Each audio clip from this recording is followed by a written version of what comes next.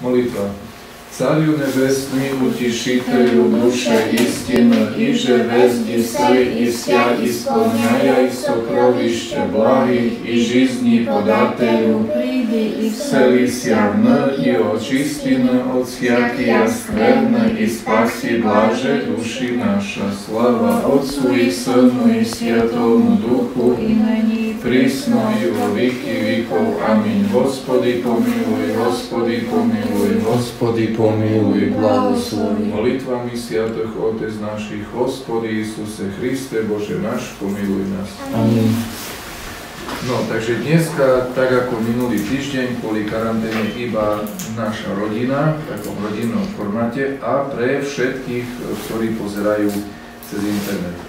Svetý Jan Kronštátsky hovorí,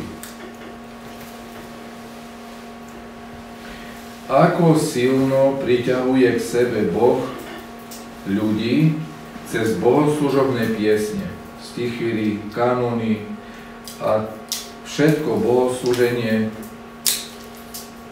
a až do konca sveta bude Boh priťahovať svojich vyvolených veriacich, ktorí, ktorí ľubia Božiu službu.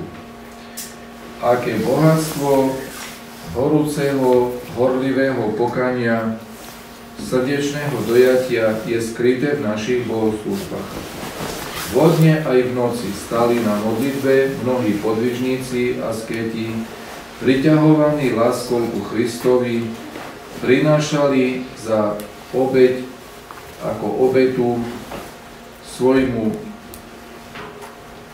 milovanému Christovi veľké podvihy zdržanlivosti, modlitby a hľadenia na Boha. Tak to boli slova svätého Jana Kronštátského. A teraz e, e, dnes máme nejakú ikony, ktorá nazýva Albazínska ikona. Vybral som práve históriu tejto ikony kvôli tomu, aby sme sa dozvedeli niečo, čo mnohí z nás nevedeli. Je to zviedkavá ikona, neznáma ikona a jej dejiny sú veľmi zaujímavé. E, táto ikona albazínska sa nazýva Slovo poď bsť, to znamená Boh slovo sa stalo telom, to znamená, že Boh sa stal človekom. Preto aj e, e, pred Bohorodičkou je zobrazený Isus Kristus ako malé dieťa. Celý príbeh, celá história albazínskej ikony sa odohráva v tzv. Priamuri, to znamená v ruskom kraji na ďalekom východnom Sibíri, alebo na ďalekej východnej Sibíri, pri rieke Amur, kde bola e, v roku 1650 založená pevnosť, ktorá sa volala Albazín. Podľa nej dostala aj ikona názov Albazínska bola založená Atamanom, ktorý sa volal Jerofej Chavarov. Na mieste mestečka, e, v ktorom býval daurský knieža Albas. Podľa neho dostala meno pevnosť a podľa pevnosti ikona. No, e, Dauri to je národ, ktorý, žije, ktorý žil kedysi na, na, územ, na tomto území. E, keďže sa tento kraj nachádza blízko čínskych hraníc. Dlhé staročia históriu tohto kraja formovali vojny s Číňanmi. Tento kraj bol v nenávisti u čínskeho panovníka a ten zautočil na albazínsku pevnosť. Bolo to v roku 1652, v predvečer Veľkého sviatku Bohorodičného, ktorý sa zvyčajne slúži vo Veľkom poste. Kto vie, ktorý je to? Bohorodičný sviatok zvyčajne vo Veľkom poste. Blahovištenie, áno. Čiže v predvečer blahovištenia po prvýkrát Číňania zautočili na albazínsku pevnosť. Túto vojnu v roku 1652 vyhrali najprv Rusi. Ale Krátko na to, o 6 rokov, v roku 1658, e, zautočili Číňania opäť a vyhrali. zostalo iba 270 kozákov, ktorí Albazin, aby nepadol do rúk nepriateľov, e, spalili, podpalili a dostali sa do zajatia do Číny. Číňania sa rozhodli, že celé toto územie premenia na púšť, že ho spustošia. Ale sa im to nepodarilo. V roku 1665 sa Rusi vrátili naspäť a prišiel k ním starec Jermogen. Veľmi veľakrát v histórii slovanských národov veľkú úlohu zohrali mnisi, zohrali starci. Tak to bolo aj v tomto prípade. Ten starec Jermogen priniesol so sebou ikonu albazinskú a v roku 1671 založil monastier a potom ešte jeden monastier, okolo ktorého sa slovanské kmene zjednotili a získali takú svoju identitu, sílu, národné uvedomenie a tak ďalej. Čiže ten starec ich všetkých zjednotil a veľmi posilnil. Celý ten kraj sa stal obilnicou východnej Sibíry. E, čiže e, bolo, bola to veľmi úrodná zem a na nej sa vypestovalo toľko obilia, že mohli zasobovať mesta a dediny v celej východnej Sibíri.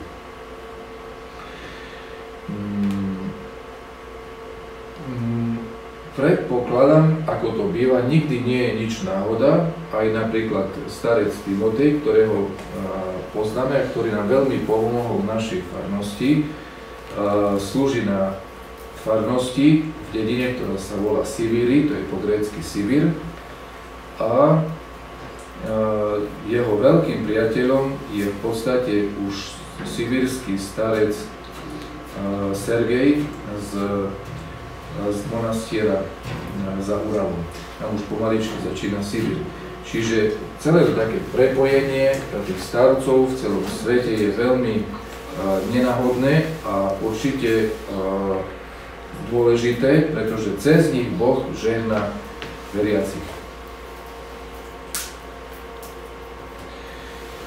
Pomaličky v tých koncom tých, e, toho 17. storočia sa začal diať taký jav, že Číňania, ktorí sa ocitli na ruskom území po tých rôznych vojnách, zača, začínali príjmať pravoslavie a to aj okrem iného malo pre nich výhodu v tom, že keď patrili k, ruským, k ruskému národu, tak e, nemuseli odvádzať veľmi veľké dane svojim veľmi krutým čínskym feudálom.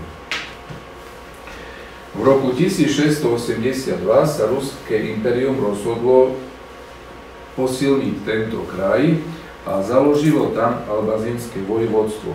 A začala duchovná misia. V tejto misii pomohlo aj to, že e, v Krista v pravoslavnú vieru uverili aj dva veľké kniežata tamojšieho kraja, Gantimír, ktorý sa v krste stal Petrom a Katanaj, ktorý sa stal v krste Pavlom. V roku 1685 začala ďalšia vojna a to 15 tisíc Číňanov zautočilo na 450 Rusov, ktorí sa e, na tomto území opevnili a snažili sa brániť.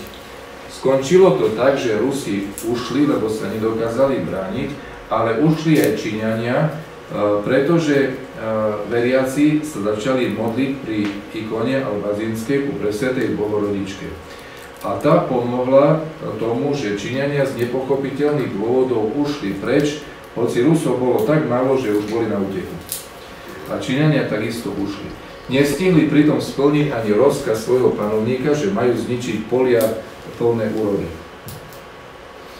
V roku 1000, e, v tom istom roku, 1685, sa Rusi vrátili naspäť na to územie a o rok začali ďalšie útoky, kde všetko bolo v dyme a v ohni. V roku 1687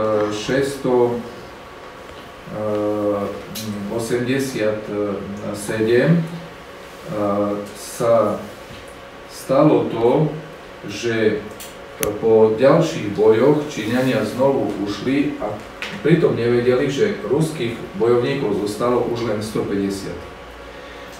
Títo znovu zobrali ikonu, odišli do mesta Sretensk, aby sa tam lepšie obranili, lebo ich bolo veľmi málo.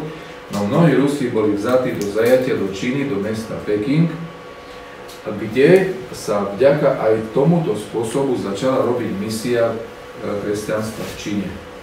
Dokonca ruskí biskupy písali e, zajacom a ich veliteľom, aby to nebrali iba ako zlo, ale aj ako možnosť pre veľké dobro. A tak sa začala misia pravoslavia v Číne.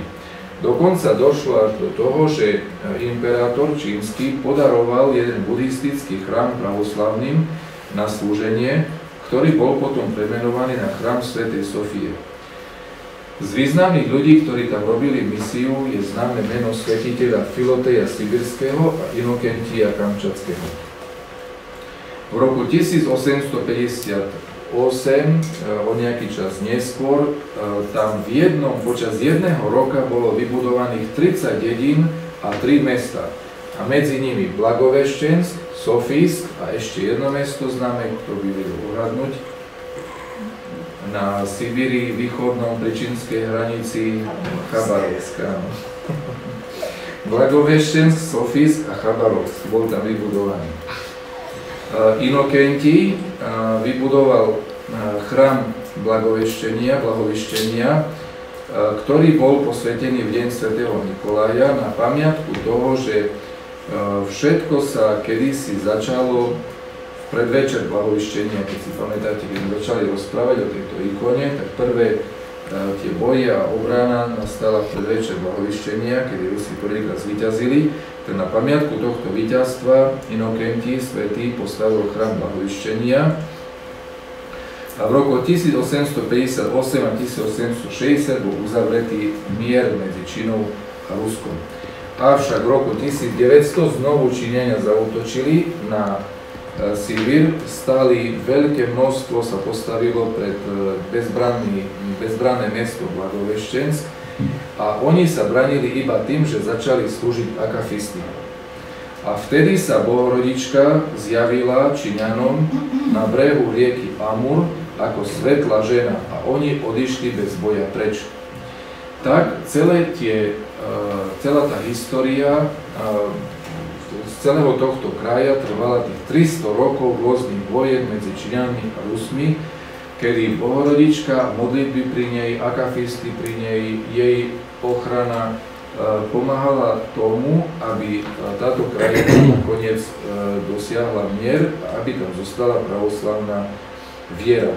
Dodnes sa táto ikona považuje za ochrankyňu vojakov a tehotných žien pri pôrode. No, takže to je toľko o dnešnej ikone, ktorý je pamiatka. A ešte vám ukážem zo pár fotiek z e, z tohto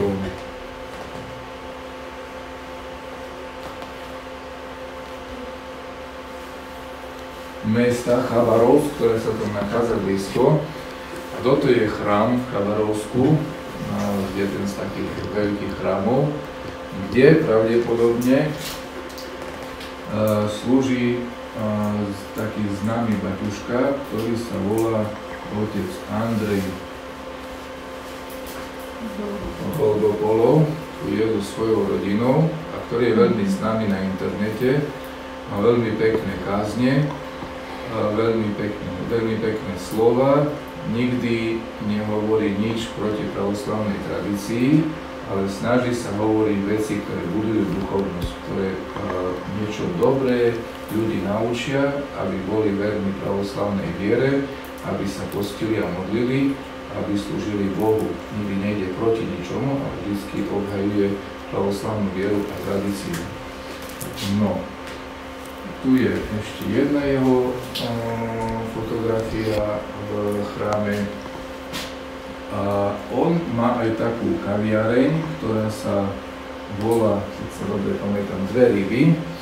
e, kde v podjasníku ako otec duchovný víta hostí, občas ich aj obslúži, má tam s nimi besedy a tak sa snaží robiť misiu. Čiže tá misia na východnej Sibíri pokračuje aj dnes a takýmto zaujímavým spôsobom. Veľmi je blízky k ľuďom a snaží sa im venovať, rozprávať sa s nimi, hlavne s mladými, ale aj so všetkými ostatnými. No, okrem tohto veľkého chrámu, kde slúžil, alebo kde slúži, stavia ešte taký maličký chrámik, ktorý je tu na, a na ktorý, ktorý sa teraz snažia tu maličky dokončiť a hľadajú na neho prostriedky. No, čo sa týka celého mesta, to mesto vyzerá v súčasnosti takto. Je to dosť veľké mesto. A tu je ešte iný chrám, ktorý sa v tom meste nachádza. No, takže tak pre zaujímavosť, aby sme vedeli, že e, kde, e, o čom hovoríme o tom kraji, ako, ako dnes vyzerá. No a teraz jeden príbeh pre deti.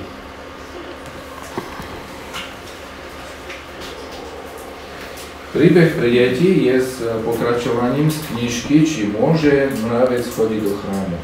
A to sa dozvieme asi až neskôr. A ďalší príbeh sa volá Ako Makari Veľký dostal e, darček od hyeny. V zborníku rozprávaní o egyptských podvižníkoch, ktorý sa volá Lausaik, je zaujímavé rozprávanie o prepodobnom Makariovi Veľkom, ktorý žil v Egypte v 4. storočí. To je on na ikone. Raz, keď svätý starec Makari sedel vo svojej keli a besedoval s Bohom, hyena priniesla k nemu e, svoje slepé mladé. Hlavou zaklopkala na dvere, buchla do dverí, vošla k Makariovi a položila mladia k jeho nohám. Svetý Makari zobral mladiatko, pomodlil sa za neho a ono začalo hneď vidieť. Mamka ho nakrmila a odišla s ním preč. Na ďalší deň hyena priniesla svetému blaženému Makariovi e, kožušinu z veľkej ovce. Keď svetý uvidel kožušinu, povedal hyene, ty si roztrhala niečiu ovcu, ináč odkiaľ by si zobrala túto kožušinu? Ja ju od teba nevezmem, lebo si to získala nespravodlivo. Hyena sklonila hlavu k zemi, pokľakla na kolena pri nohách svetého a dávala mu e, túto kožušinu. Vtedy jej povedal, ja nevezmem tú kožušinu, hovorím ti, ak mi nesľubíš, že nebudeš viacej kradnúť ovce u biedných ľudí. Pri týchto slovách hyena opäť sklonila nízko hlavu ako na znak toho, že súhlasí so slovami svätého. Blažená starica Melania rozprávala, že ona videla túto kožušinu u svätého a predivného starca Makaria, ktorý ju nazýval darom hyeny. Veď nič nie je divné na tom, že svetému človeku dokonca ešte aj hyena prináša dary na Božiu slavu. príbeh dnešný pre deti. To znamená, že je treba zvieratá chrániť, aj sa modliť za nich, aj pomáhať im, ale treba ich učiť, aby nerobili zlo, aby neškodili nikomu. No, teraz uh, si trošku poprekladáme ďalej z žalmu, ktorý sa číta na utrení.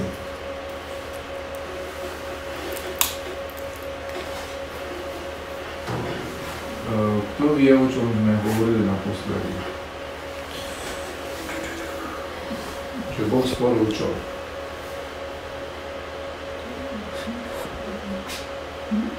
Nebesa nebies a vodu, ktorá je nad nebesami tak ďalej. No potom sme mali slovo, že Boh povedal a stalo sa, rozkázal a boli stvorené. No a teraz nasledujú ďalšie slova, ktoré si prečítame a preložíme tretí riadok z dola. Malinka začni. Áno. postaví jav, vík i v vík víka. Dobre, stačí. Postaví ja v vik i v vik vika. Čo to znamená, čo myslíte? Čo urobil Boh s tými nebesami a s, tým, s, tými vodami a s tým všetkým? Že ich ustanovil na veky. Áno, ich ustanovil na veky a na veky vekov. Dobre, Anička. Povelenie položí iné mimo ide. No čo to znamená? Povelenie položí iné mimo idec. Čo to znamená povelenie položí? Povelenie? Vydal príkaz. No. Vydal príkaz, áno, ustanovil príkaz, je položí, ustanovil príkaz, iné mimo ide. To znamená? Nie ide mimo, ale ako to teda chápať, čo myslíte? Keď príkaz Boží nejde mimo, čo to znamená? Prosím? No, je posluchnutý prírodou, čiže príroda, prírode sa stalo to, čo Boh kázal, ale ešte skúste to úplne voľne preložiť. To nezrušil možno?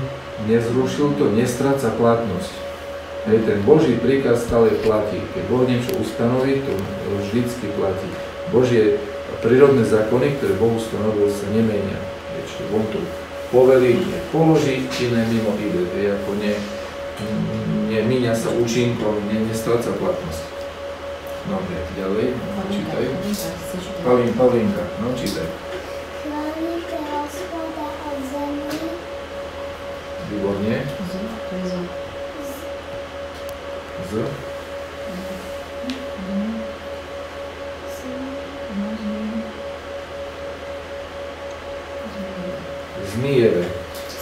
Chvalite hospoda od zemlí zmijeve. No, preložte. Na hlas. Chváľte hospodina od zemlí zmijeve. Čo to znamená?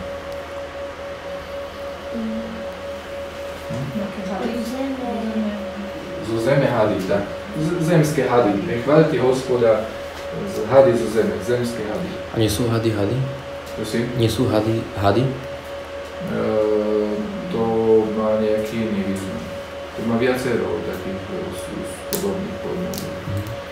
Ten rozdiel to by sme museli poskúmať, že aký tam presne. No, e, Pavel, čítaj ďalej. Slováci to preložili ako príšery. E, Aha. Čiže môže byť, že zmieve sú také Po rusky je príšery. veľké hady, také, také draky, povedzme. hej. Nie také maličké hadici, také veľké príšery. A ešte rozprávke, vieš, toto Peter Feronia tam, že zmí.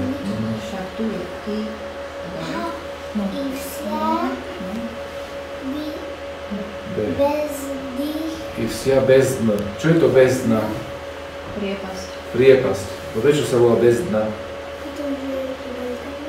Je veľká taká, že nemá dno. Je bez dna. Nemá dno, je bez. Čiže chváľte hospodina aj priepasti. Ako sa volá najväčšia priepasť v mori? Anička? Marianská priepasť. No ďalej chváľte hospodina. E, kto? Marina, čítaj. Dole posledný riadok pod bez? Bezdnu, tu sme mali, a ďalej. Oheň, hrad, e, sník, e, goloď. Goloď, alebo goloď. No, oheň je oheň, je to jasné. Hrad, čo je to hrad? Rukobytie. Rukobytie, alebo ľadovec. Sníh je čo? Sneh. Sneh. A čo je to goloď? Holoď, no? Kto bude vedieť? To je ťažko, ťažšie uhadnúť.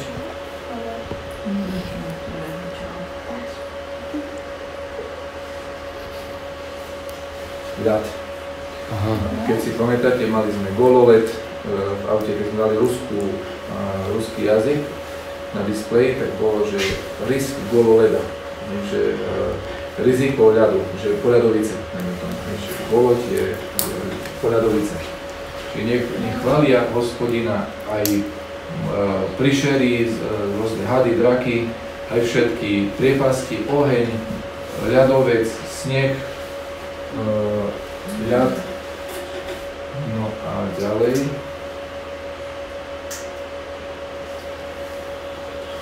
Ďakujem. My sme dokončili vetu ešte, prvý riadok.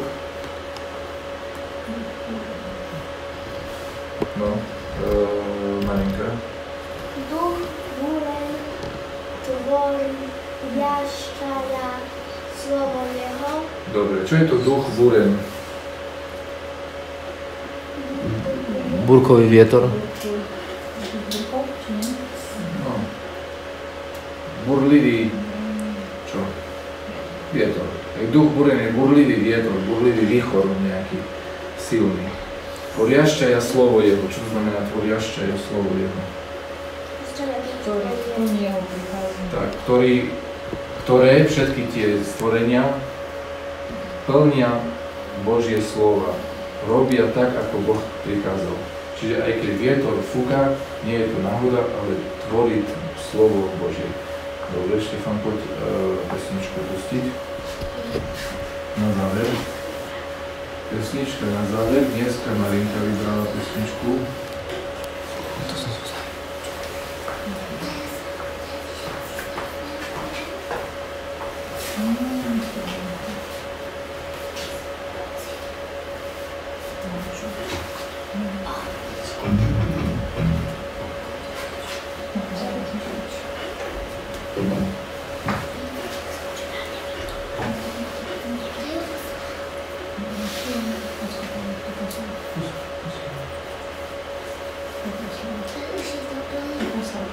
Marina, Marinka.